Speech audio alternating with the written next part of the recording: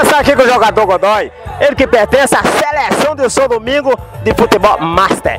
É, Godoy, qual é a sensação de enfrentar as feras? A seleção brasileira de futebol Master, que é Master mais jogadores habilidosos, talentosos e fininho, que, manter, que conseguiu manter todo esse tempo o preparo em ordem.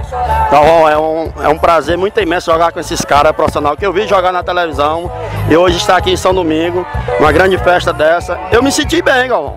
Joguei bem. Eu acho que eu joguei, né? Não sei. Nós preparamos bem a semana todinha, treinamos bastante e tudo deu certo, né? No primeiro tempo. Apesar deles empatarem no segundo, mas todo mundo suportou bem.